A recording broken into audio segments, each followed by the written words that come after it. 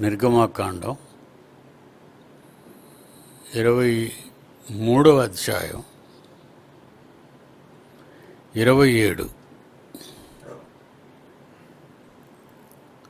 ఇస్రాయేలీలకు దేవుడు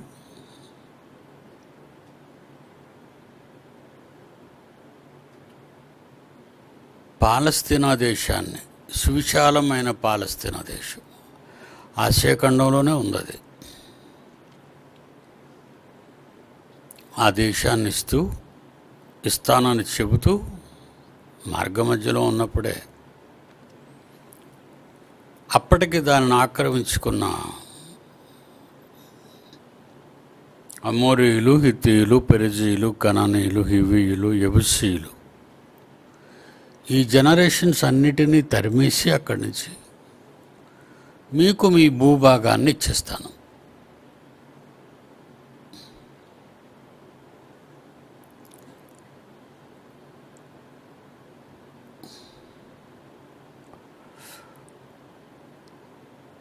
నిజంగా అండి ఇస్రాయేలీయుల మీద దేవునికున్న ముద్దు ముచ్చట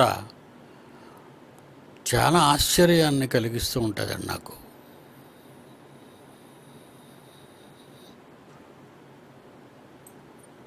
దేవుడు ఇస్తామన్న వాగ్దాన భూమి వాళ్ళకి ఇవ్వటానికి ఇది చేస్తున్న ఏర్పాట్లు. పైగా పాలుతేనులు ప్రవహించే సస్యశ్యామలమైన ప్రపంచ భూములన్నిటిలోకి శ్రేష్టమైన నేల పాలస్తీనా. పాలస్తీనా అనగానే అదొక చిన్న దేశం అనుకోకండి. గాజా స్ట్రిప్ డెమాస్కస్ లేటెస్ట్ ఆ దేశాల పేర్లు చెప్తున్నాను. జోర్దాన్ సిరియా ఇప్పుడు ఇజ్రాయెల్ అని చిన్న మొక్క ఇవన్నీ కలిపి మధ్యధరా సముద్రానికి యోర్ధాన నదికి మధ్యన ఉన్న సువిశాల పాలుతేనులు ప్రవహించే దేశం. ఏమంటే ఆ దేశంలో మన దేశంలో ఒక అరటిగేల ఏం కాకుండా మూసేస్తారు. యువత వెనకాతలో ఒక రెండు అరటిగేళ్ళు ముందు ఒక రెండు మూడు అరటిగేళ్ళు కట్టుకొని రాజమండ్రి అవతల ఏ ఊరు నాయనది? రావులపాలెం. అంతే కదా అరటి అరటికి ప్రసిద్ధి రావులపాలెం.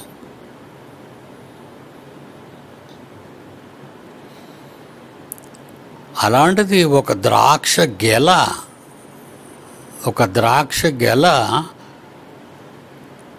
ఇద్దరు మోసుకొచ్చేవారట. కాడిగట్టి. ఇద్దరు. అంటే ఎంత పంటపు సారవంతమైన నేల.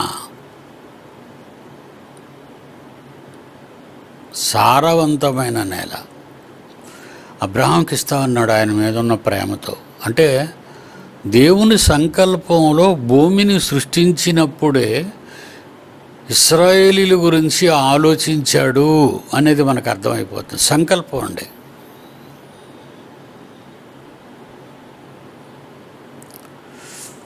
యజమాని ఇల్లు కట్టేటప్పుడు తనకున్న కుమార్తెలు కుమారులు. ప్యాలెస్లో వాళ్ళు ఎక్కడుండాలి అనేది యజమాని ఆలోచించి చేస్తాడు.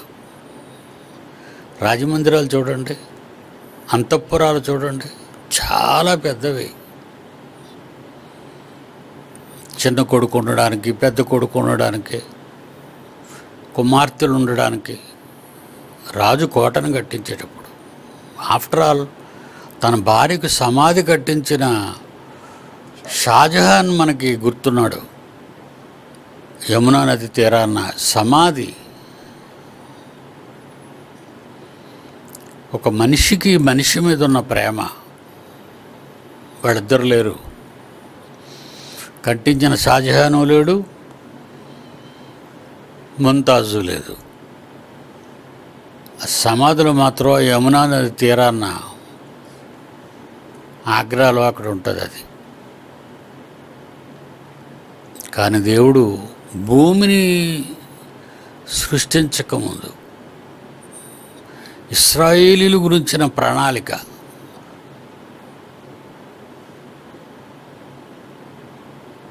ఆయన ప్రేమ గొప్పది కదా ఇస్రాయేలీలు. చాలా ప్రేమించాడండి ఆయన. నిజంగా వాళ్ళు ఎంత తిరుగుబడినా వాళ్ళ మీద ఆ ప్రేమను మాత్రం ఆయన పోగొట్టుకునేవాడు కాడు. అదే ప్రేమ. ఈరోజు ఎవరి మీద ఉందో చెప్పండి. మీ మీదే ఉంది.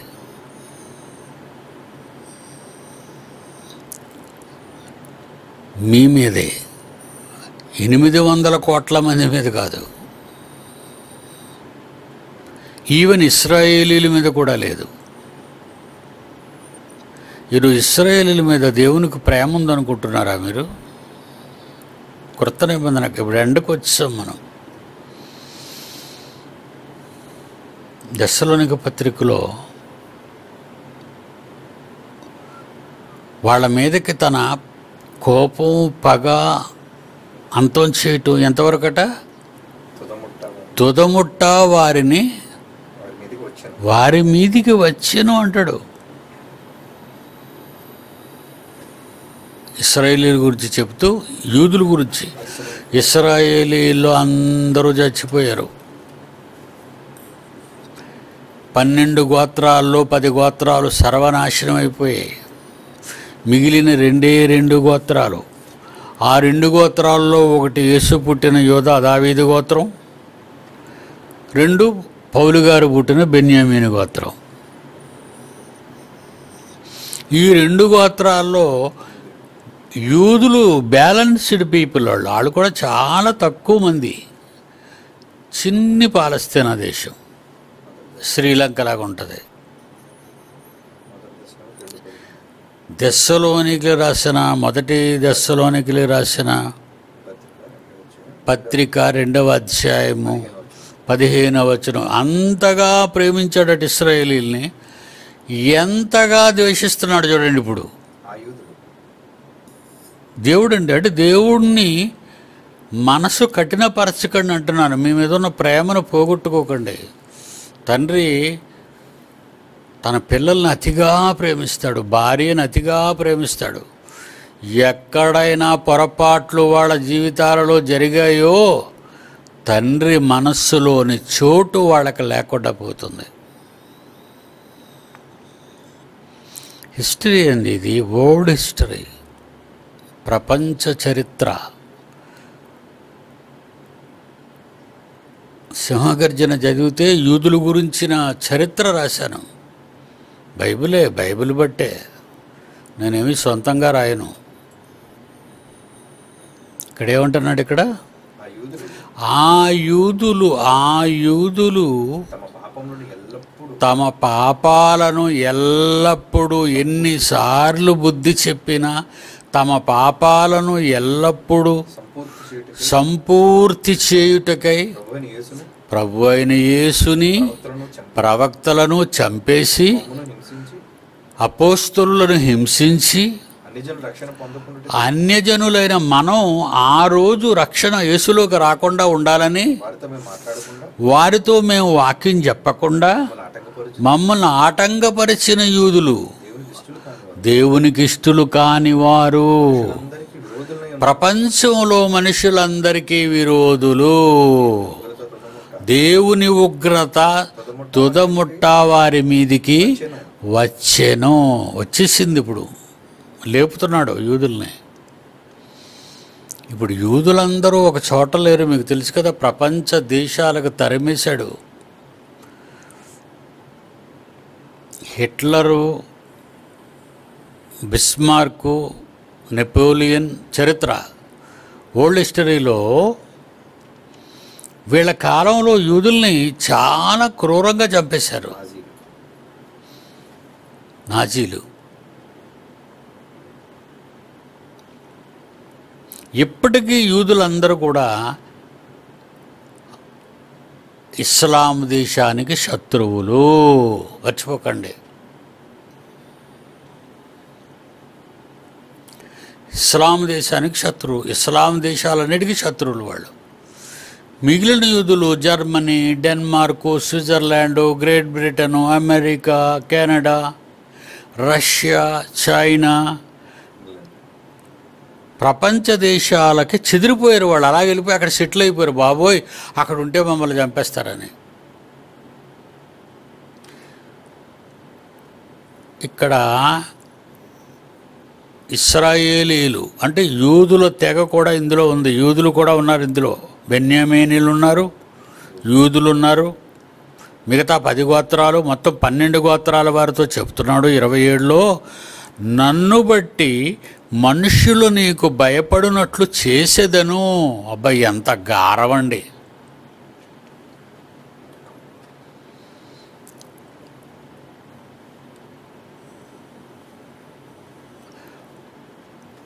ఒక బలవంతుడి పిల్లలు పిల్లలు చూసి భయపడరా ఎవరైనా?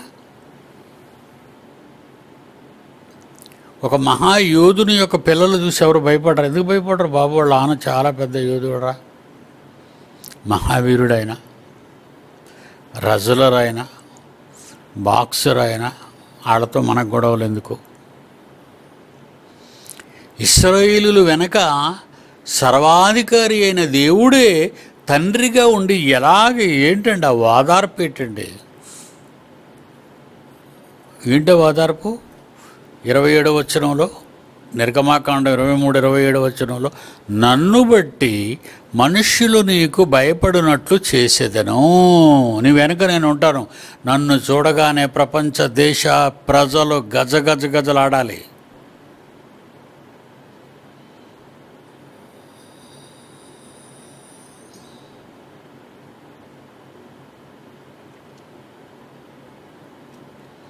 ఉత్తర భారతం అంతా పుణ్యక్షేత్రాలే తెలుసా మీకు? ఉత్తర భారతదేశం అన్ని పుణ్యక్షేత్రాలే అన్నీ మందిరాలే దేవాలయాలే. క్రైస్తవులందరినీ సర్వనాశనం చేస్తున్నది చంపేస్తున్నది నరికేస్తున్నది చర్చిలు తగలబెడుతున్నది ఉత్తర భారతమే. ఇప్పుడు ఉత్తర భారతంకి ఏమైనా జరుగుతుందా? ఏమైనా మేలు జరుగుతుందా? చెప్పండి. జలప్రళయం మనం ఏం చేయనవసరం లేదు. మనం ఏం చేయనవసరం లేదు. మీరేం ప్రార్థనలు ఏదో ప్రార్థనలు చేసేద్దామండి ఊరేగింపులు చేసేద్దామండి. అక్కడ మనుషులు నరికేస్తున్నారు. చర్చిలు తగలబెట్టేస్తున్నారు. మీరు విశాఖపట్నంలో ఊరేగింపు చేస్తే అక్కడే జరుగుతుంది.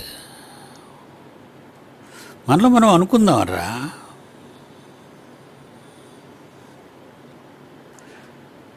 మన ఇంట్లో భోజనం లేదు.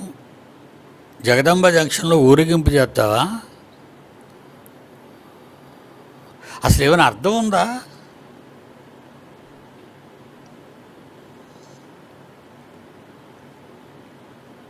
మన విశాఖపట్నంలో ఉన్న రాత్రిపూట చేశారట ఊరేగింపు. మొన్న ఈ మధ్య విన్నాను.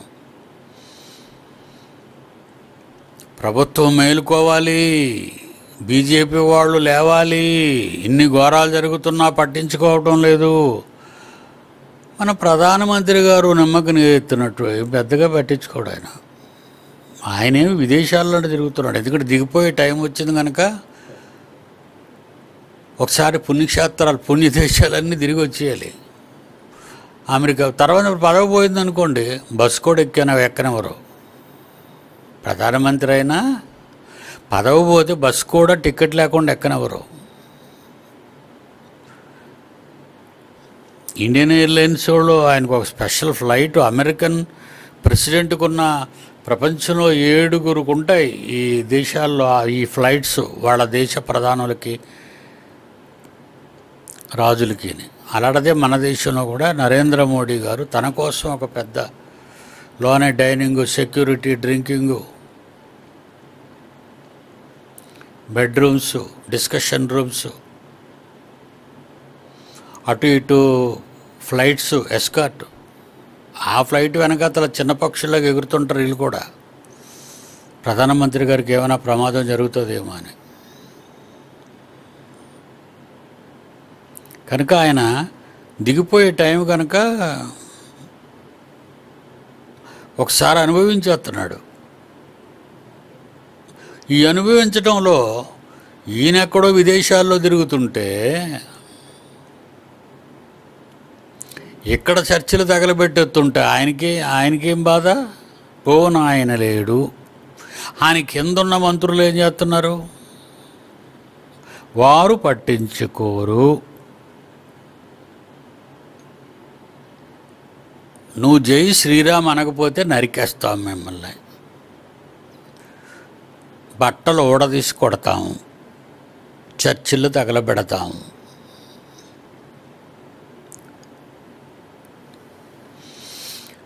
గవర్నమెంట్ ఏం చేయదండి. గవర్నమెంట్ ఏం చేయదు. అలాగని లోకంలో ఉన్న నామకార్థ క్రైస్తవులు నామకార్థ క్రైస్తవులు అంటే ఎక్కడో ఆపదొస్తే వీళ్ళు ప్రార్థన చేస్తూ ఉంటారు. వీళ్ళు ప్రార్థన చేసేటప్పుడు వీళ్ళు ఎలా వీళ్ళు ఎలా ఉండాలి? దేవునికి ఇష్టులై ఉండాలి. అందుకంటే నేను మిమ్మల్ని ప్రత్యేకించి ప్రత్యేకంగా మీ గురించి ఎందుకు మాట్లాడతానంటే ఎప్పుడూ దేవుని పనిలో దేవుని ఆలోచనల్లో ఉన్నవారు మీరేనర్రా ఎవరు లేరు అసలు ప్రపంచంలో ఎవ్వరు లేరు. నేనైతే గొప్ప చెప్పటం లేదండి. ప్రపంచ దేశాలలో లక్షలాది కోట్ల సంఘాలున్నా ఏ సంఘంలో ఉన్నవాడైనా ఆదివారం ఉడుకొచ్చిపోయేవాడే కానీ దేవుని ఇష్టాన్ని నెరవేర్చటానికి నేను ఏమి చేయాలి అని అపోస్తులలా కానీ ప్రవక్తలలాగా కానీ ప్రారంభ క్రైస్తవుల్లాగా కానీ ఎవరు ఆలోచించటం లేదు.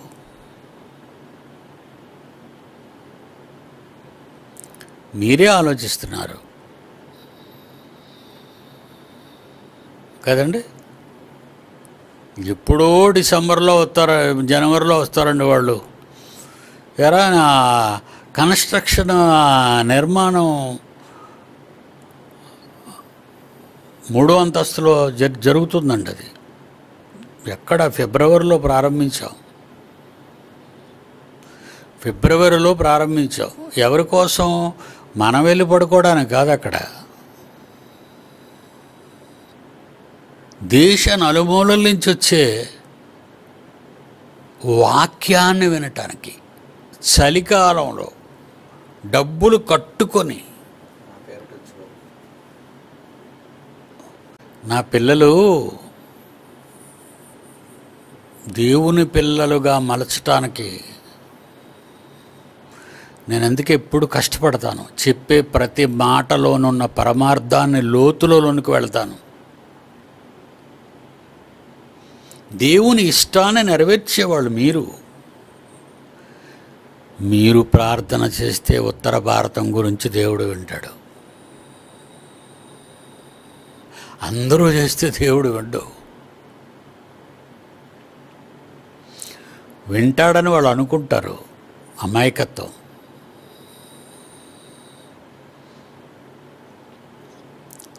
బాగా చదువుకొని మంచి మార్కులు తెచ్చుకొని మమ్మీ డాడీని గౌరవించి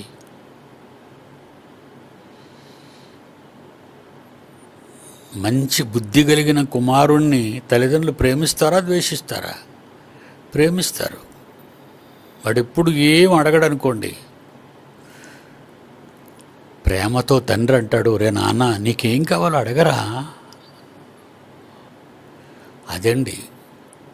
నిన్ను చూసి నీ తండ్రికి ప్రేమ పుట్టుకు రావాలి ఏదైనా నా బిడ్డ కొరకు చెయ్యాలి అని తల్లిదండ్రులు అనుకోవాలి.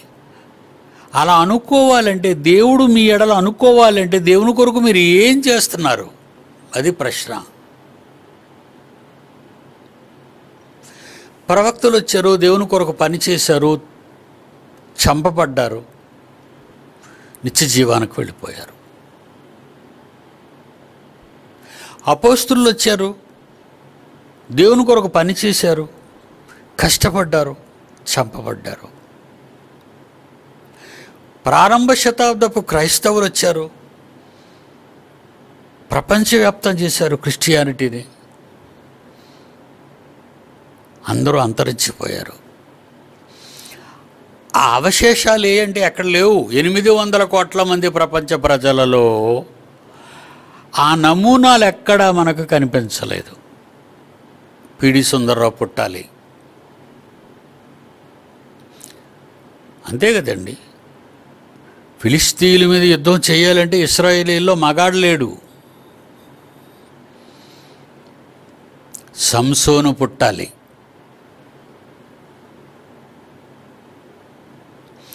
ఇస్రాయేలీల్ని శత్రు సైన్యాల నుంచి కాపాడడానికి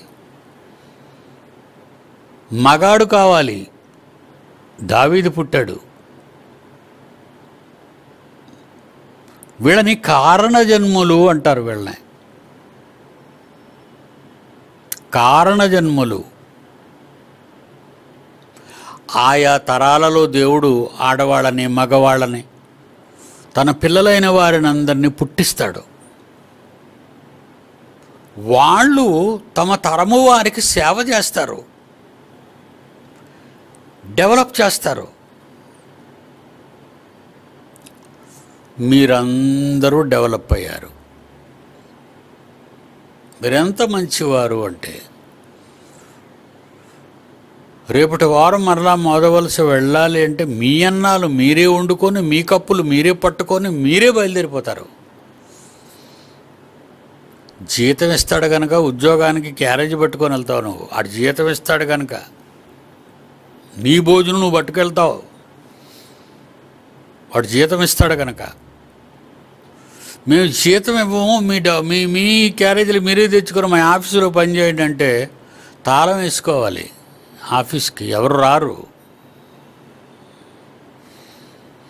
అలా దేవుడు పిలవగానే దేవుని పని కొరకు వచ్చిన వాళ్ళు మీరే. కనుక మీరే ప్రార్థన చేయాలి.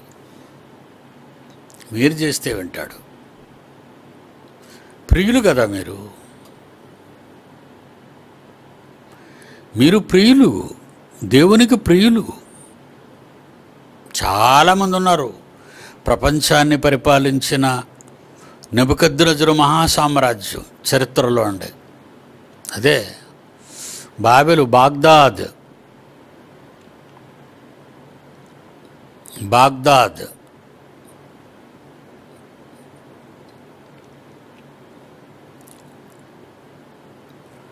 వాళ్ళ దేశంలో చాలామంది ఉన్నారు మంత్రగాళ్ళు సోదిగాళ్ళు జ్యోతిష్య పండితులు.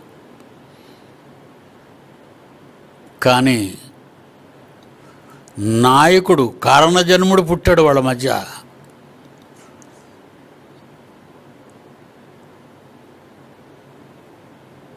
ఎవరైనా? నెప్పుకెత్తిన కలభావం చెప్పిన ఆయన?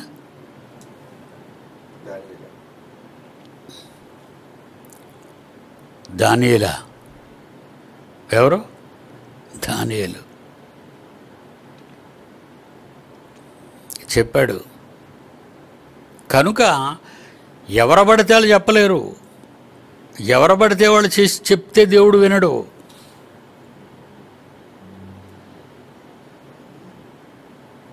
మహారాజా కళ చెప్పడట రాజు చక్రవర్తి కదా. నాకు కళ చెప్పాలి కళ భావం చెప్పాలి లేకపోతే చంపేస్తానన్నాడు. ఇది ఎక్కడ మూర్ఖత్వం? నిబుకద్నెజర సంస్థానంలో ఉన్నటువంటి ప్రపంచ దేశాల్లో ఉన్న జ్యోతిష్య పండితులందరినీ చంపేస్తామన్నాడు పలానా రోజుకి చెప్పకపోతే అని. అప్పుడు దానియులు చచ్చిపోతాడు షడ్రకోమేషక అబద్ధనిగో చచ్చిపోతారు.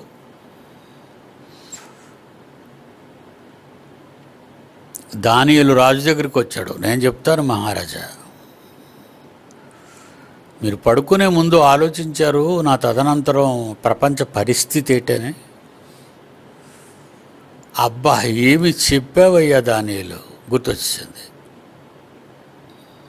మరి తన భావం చెప్పి భావం చెప్పు అన్నాడు. మీ తరువాత ప్రపంచాన్ని మూడు మహాసామ్రాజ్యాలు పాలిస్తాయి. చివరి సామ్రాజ్యం రోమా సామ్రాజ్యం. అది కూలిపోతుంది. ఆ కాలంలో రక్షకుడు పుడతాడు క్రీస్తు.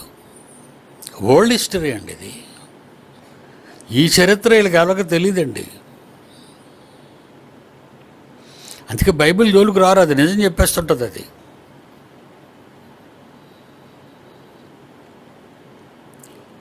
కనుక ఈ తరంలో రెండు వేల.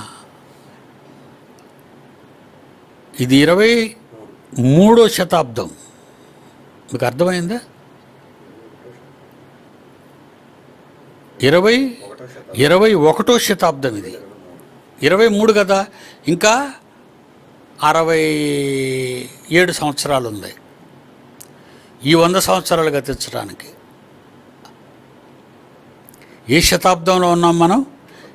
ఇరవై ఒకటి ట్వంటీ ఫస్ట్ సెంచరీ. ఈ సెంచరీలో ఎవరిని పుట్టించాలి అని దేవుడు అనుకున్నాడు. మీరు కనబడ్డారు. మీరేం ఊరకే పుట్టలేదండి మీ అమ్మ నాన్నకి. మీరు అనుకోవచ్చు మా అమ్మ నాన్నకి నేను ఊరకనే పుట్టేశాను. ఏదోనండి మా తాత మా మా అమ్మ మా నాన్న మా అమ్మకి పెళ్ళి చేశారు మేము పుట్టాం. ఈ లోకం అనుకునే చీప్ క్వాలిటీ వర్డ్స్ అవే కదా.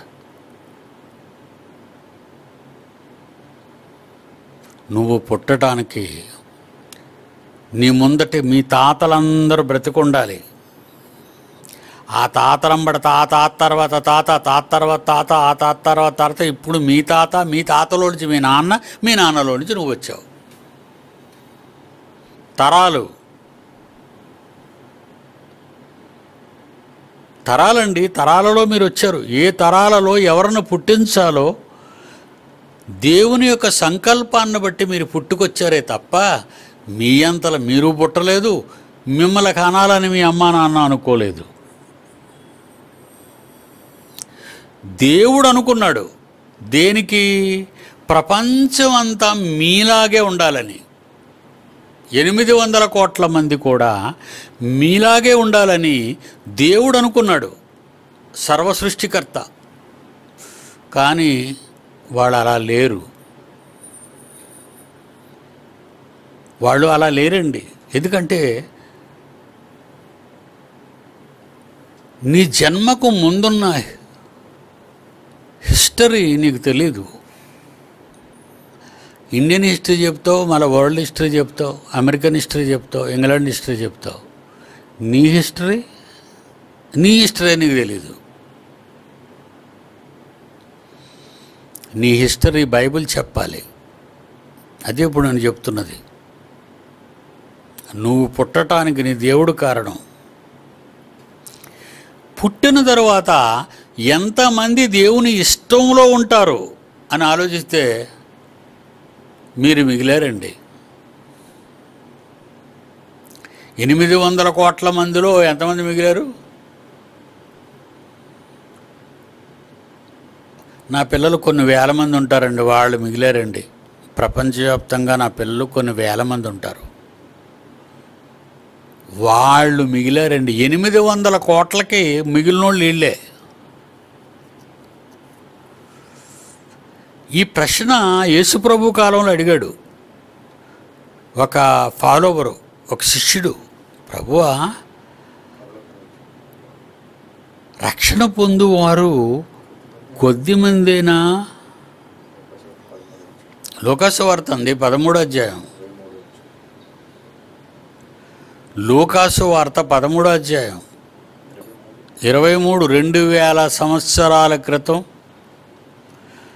క్రీస్తు భూమి మీద బ్రతుకున్న కాలంలో ఆయనను వెంబడించిన శిష్యులలో ఒకరు ఆయనను అడిగిన ప్రశ్న సందర్భం. ఒక్కడు పదమూడు ఇరవై మూడు ఒక్కడు. ప్రభువా రక్షణ పొందువారు కొద్ది మందేనా కొద్ది మందేనా కొద్ది మందేనా నా పాఠం అంటే వింటుంటే మీకు ఎలా ఉంటుంది? మేమేనా? అంటే ఈయనేమో నిజం చెప్తున్నాడా అబద్ధం చెప్తున్నాడా? వాళ్ళందరూ పోతారా? అందరూ పోతారు. ఎందుకంటే ఇక్కడ దేవుడు మాట తప్పైపోద్ది. యేసు ప్రభు చెప్పిన మాట తప్పైపోద్ది. రక్షణ పొందువారు? కొద్దేనా కొద్ది మందే కొద్ది మందే మరి ఎనిమిది వందల కోట్లలో వేల మంది శేషం అంటారు దీన్ని. భాగాహారం చేసేటప్పుడు చివరన మిగులుతాయి. దాన్ని ఏమంటారు? శేషం ఇంకా తెగదు. రిమైండర్. ఎనిమిది వందల కోట్ల మందిని భాగిస్తే దేవుని సంకల్పం చేత. కొన్ని వేల మంది శేషంగా మిగిలాం మనం.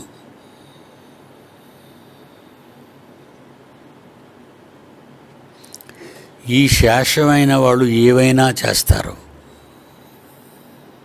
అర్థమైందా?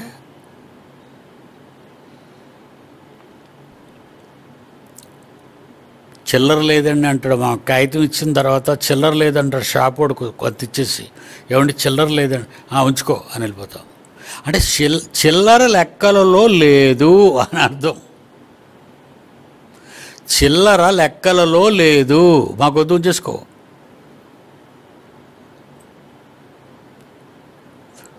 ప్రపంచానికి మనం లెక్కలలో లేము.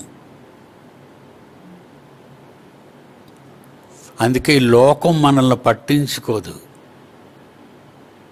లోకం మనల్ని పట్టించుకోదు. మనం కూడా లోకాన్ని పట్టించుకోకూడదు. మనమేమో లోకం చుట్టూ తిరుగుతుంటాం. లోకం చుట్టూ తిరక్కండి ఈ లోక స్నేహము దేవునితో వైరమ్మని మీరు ఎరుగురా అన్నాడు.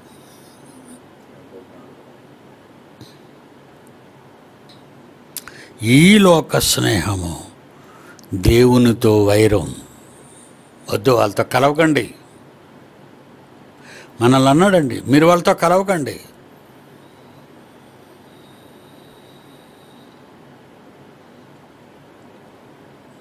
ఈరోజు శేషం. ఒకరోజు ఎంతగానో లక్షలాది మంది ఇస్రాయిల్ని ప్రేమించిన దేవుడు ఈరోజు శేషం మిగిలింది వాళ్ళది కూడా. వాళ్ళది కూడా ఇస్రాయేలీల్లో కూడా యూదులు శేషం మిగిలారు. తక్కువ మంది. వాళ్ళను కూడా ఏం చేసేస్తానంటున్నాడు దేవుడు ఇప్పుడు? తుదముట్ట వారిని నాశనం నాశనం చేస్తానన్నాడు. అంటే వాళ్ళు కూడా దేవుడికి వద్దట.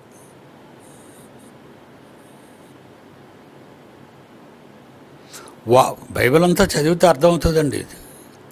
చాలా పెద్ద హిస్టరీ ఇది. బైబిల్లోనే ఉంది. ఎక్కడికి మీరు బయటకు వెళ్ళకండి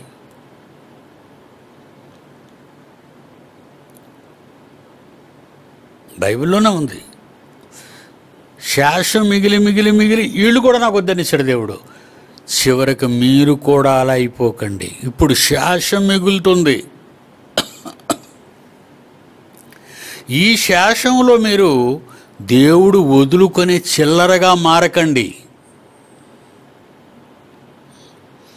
దేవునితో సత్సంబంధం కలిగి ఉండండి. ఆయన మాటలు వినండి. ఆయన పనులు చేయండి. ఆయన కొరకు బ్రతకండి. ఆయన కొరకు నేర్చుకోండి. మిగులుతారనుకునే ఇస్రాయేలీలు మిగలకుండా పోయారు. అలాట మిగలకుండా పోయే ఇస్రాయేలీల గురించి దేవుడు ప్రారంభ కాలంలో ఏమంటున్నాడు? ఇరవై ఏడవ వచనంలో నన్ను బట్టి మనుషులు నీకు భయపడినట్లు చేసేదను. బ ఎంత అండండి ఎంత కొండండి నిజంగా వాళ్ళ వెనకాతల దేవుడుండి. దేవుడు ఎంత అండగా ఉన్నాడండి ఇస్రాయేలు వెనక? నన్ను బట్టి మనుషులు నీకు భయపడినట్లు చేసేదను. నీవు పోవు స్వ సర్వదేశముల వారిని వాడగొట్టి నీ సమస్త శత్రువులు నీ ఎదుట నుండి పారిపోవునట్లు చేసేదను. నిన్ను చూస్తే పారిపోవాలి. ఎందుకంటే నీ వెనక నేనున్నాను కనుక అంటున్నాడు దేవుడు. ఎంత గొప్పగా చెప్పుకుంటున్నాడండి?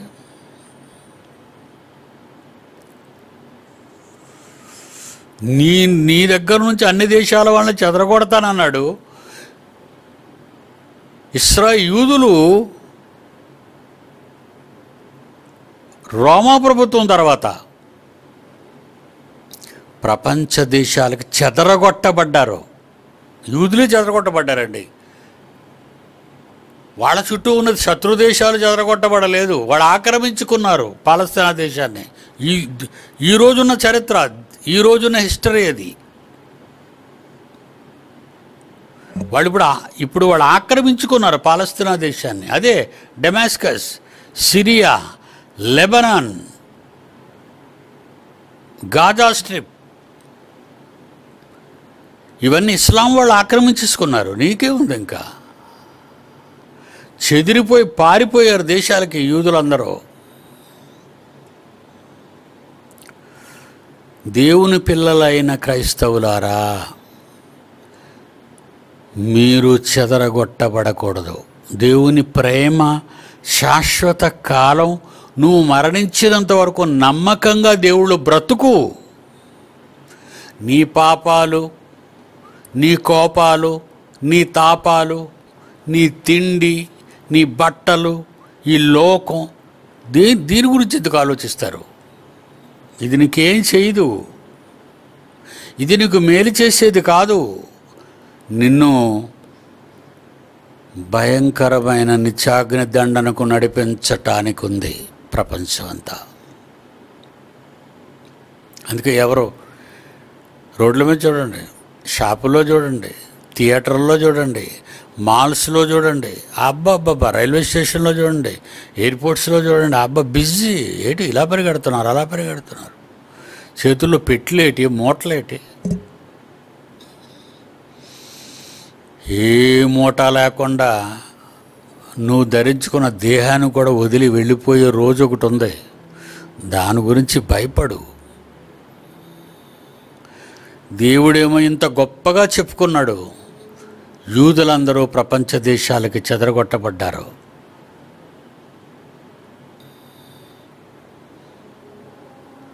నీవు పోవు సర్వ స్వది సర్వదేశముల వారిని వడగొట్టి నీ సమస్త శత్రువులు నీ ఎదుట నుండి పారిపోవునట్లు చేసేదను. మరియు పెద్ద కందిరీగలు నీకు ముందుగా పంపించేదను. అవి నీ ఎదుట నుండి హివ్వీయులను కనానీయులను హిత్తీయులను వెళ్ళగొట్టును. దేవుడి సైన్యం అండి ఇది. కందిరీగలు దోమలు ఇవన్నీ ఏమనుకుంటున్నారు మీరు? చీడ పురుగులు పేడ పురుగులు ఇవన్నీ? దేవుని సైన్యం అర్రా. అదంతా దేవుని సైన్యం. వర్షం వస్తుందా? ఎవరైనా నేల మీద ఇల్లు కట్టుకున్న వాళ్ళు ఉంటారా? ఇంటి నిండా వచ్చేస్తాయండి నల్లగా చీమలు. ఎక్కడున్నాయండి బాబు ఇంతకాలం? నీ ఇంటి కిందే ఉన్నాయి. భూమి లోపల భాగాలన్నీ అవే. తేళ్ళు జర్రులు పాములు. బయటకు వచ్చాయనుకో నువ్వు భూమి మీద ఉండవు చెట్టెక్కిపోవాలి. ఏంటి పంపిస్తా ఉన్నాడు దేవుడు? పెద్ద కందిరీగలు నీకు ముందుగా పంపించదను. ఇరవై ఎనిమిది. అవి నీ ఎదుట నుండి హివ్వీయులను కనానీయులను హిత్తీయులను వెళ్ళగొట్టును. దేశము పాడై అడవి మృగములు నీకు విరోధముగా విస్తరించినట్లు వారిని ఒక్క సంవత్సరములోనే నీ ఎదుట నుండి వెళ్ళగొట్టును. నీవు అభివృద్ధి పొంది ఆ దేశమును స్వాధీనపరుచుకుని వరకు క్రమముగా వారిని నీ ఎదుట నుండి వెళ్ళగొట్టెదను. మరియు ఎర్ర సముద్రము నుండి ఫిలిస్తీయుల సముద్రము వరకు అరణ్యము నుండి నది వరకు నీ పొలిమేరలను ఏర్పరచెదను. ఆ దేశ నివాసులను నీ చేతికి అప్పగించెదను. నీవు నీ ఎదుట నుండి వారిని వెళ్ళగొట్టెదవు. నీవు వారితోనైనను వారి దేవతలతోనైనను నిబంధన చేసుకొనవద్దు. నీవు వారి దేవతలను సేవించిన ఎడల అది నీకు ఉరియగును గనుక వారు నీ చేత నాకు విరోధముగా పాపము చేయింపకుండునము కుండునట్లు వారు నీ దేశములో నివసింపకూడదు. క్లియర్ చేసేస్తానన్నాడు మొత్తం అంతా. క్లియర్ చేసిస్తానన్నాడు.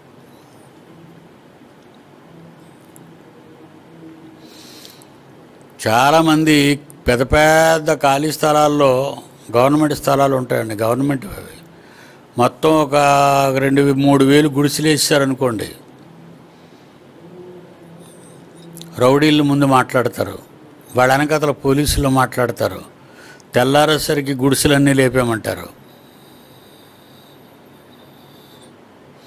ప్రభుత్వం కదండి ఏమైనా చేస్తుంది.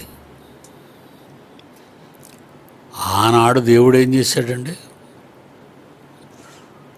వాళ్ళు ఆక్రమించుకున్నారు. పాలస్తీనా దేశాన్ని తెగల వాళ్ళు ఆక్రమించుకున్నారు. అందుకే వాళ్ళందరినీ తరిమేస్తానన్నాడు.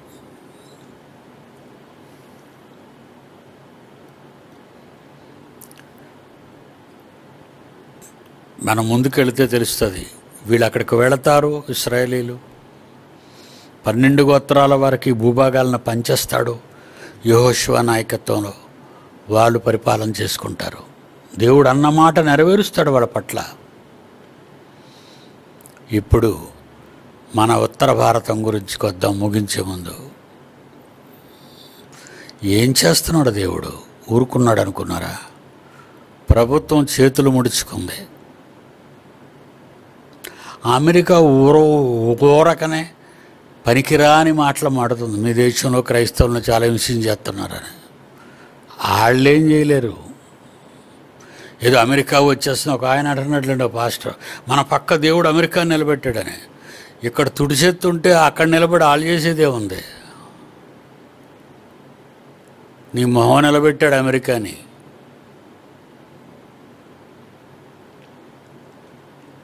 ప్రకృతితో తుడిచేస్తున్నాడు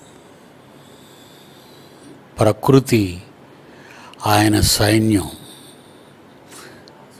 జల సైన్యం.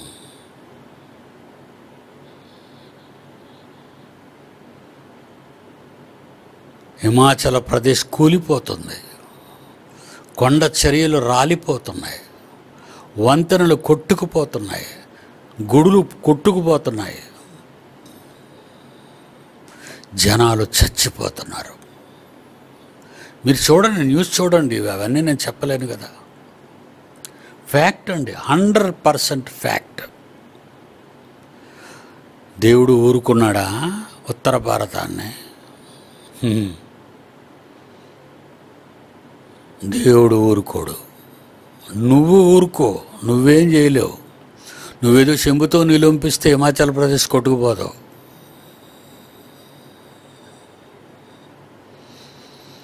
హిమాలయ పర్వతాల మీద వెళ్ళి భయంకరమైన గంగా యమున సట్లస్. ఢిల్లీ మునిగిపోయింది. ఢిల్లీ ముఖ్యమంత్రి ఇల్లు మునిగిపోయింది. ఇది గొప్ప చరిత్ర. కేజ్రీవాల్ ఇల్లు మునిగిపోయింది. పాపం దూరం నుంచి గట్టు మీద నేను చూస్తున్నా ఢిల్లీని. ముఖ్యమంత్రి గారు. రాజధాని నగరం ములిగింది.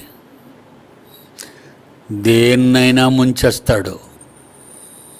హద్దు దాటితే గీత దాటితే ఎవరిని దేవుడు విడిచిపెట్టడు. సెలవు మరి.